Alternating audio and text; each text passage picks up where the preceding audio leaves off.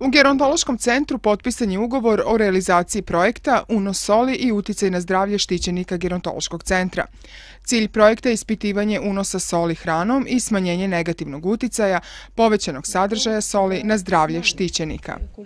E, pokušati štićenicima da objasnimo znači koliko ovaj, soli je u ishrani dovoljno i da to dosoljavanje za stolom koje je među našim stanovništvom vrlo, vrlo rašireno i taj običaj dosoljavanja da pokušamo e, da smanjimo na najmanju moguću meru.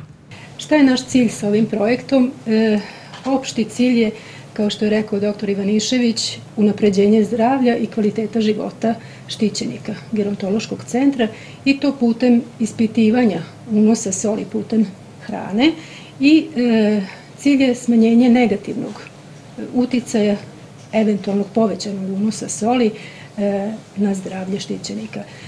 Realizacija projekta je započela 14. maja i trajeće do 15. decembra. Biće obuhvaćeno 500 korisnika gerontološkog centra u Subotici.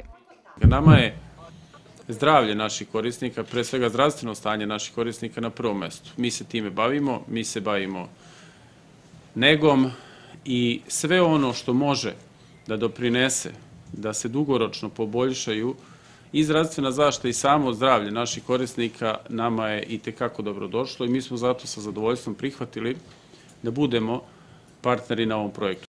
Očekivani rezultati su preporuka unosa soli u skladu sa preporukama Svetske zdravstvene organizacije, uspostavljanje saradnje sa dobavljačima i proizvođačima u cilju smanjenja sadržaja soli u proizvodnom procesu, zatim smanjenje unosa soli u organizam kao i smanjenje troškova za lečenje.